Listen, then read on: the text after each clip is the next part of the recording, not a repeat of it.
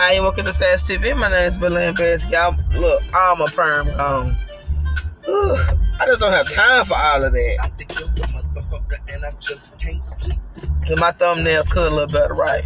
And I could stand them. top of that, niggas after me for fucking one of they good rats. Wait a minute, I'm sure. time for the fucking bitch story. Niggas want me, gotta come to my territory.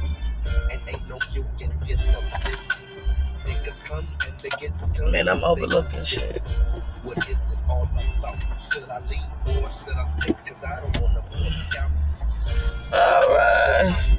The homies say the hood where it's good, homeboy. I thought you knew. So in the process, the show the MCA XL XM43. You're into old school hip hop like LL Cool J, Run DMC, Kings of Rock, Eminem's on there. They be playing the old school songs from the beginning. You know, now they just give you the little music and no, the full song. So, Scorpio, that's for you. So, Scorpio, sadness over a situation. I don't think I think you can't pay attention to something because something else has your mind caught up. You may have to end something really quick, right quick. When it comes down to your personal life. Uh-huh. Something's gotta end right quick. Because I do see some type of judgment coming in for you with the financial situation attached to it. It's also showing here that you're thinking about reaching out about something. You got about two or three things going on at the same time, and money's looking good for you. By the end of the month, you're gonna be worried about love for some reason.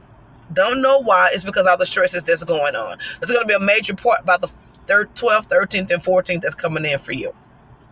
Uh huh. You see yourself in another way. You see yourself in another way. You do want a relationship with someone. You want commitment. You're willing to try things. You're being very, um, your morals are the same. Your morals are definitely the same.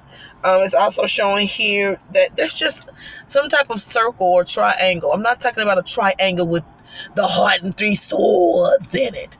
I ain't talking about that. I'm talking about with yourself. The triangle of yourself, how you feel. You it's like when you sleep at night, there's three things that bother you.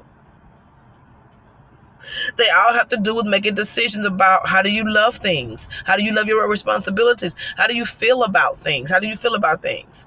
What are your true feelings about things? Just what are your true feelings about things? That's really highlighted for you.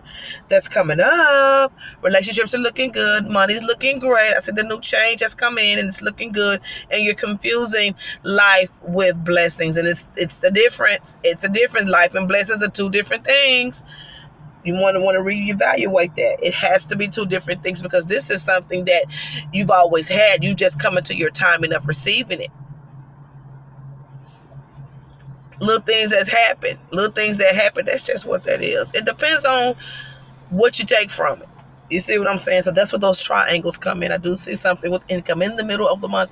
Money's looking good. Relationships are coming to a finalization about what, who, why, and when, and whoever it is. God bless. That's Scorpio, mama.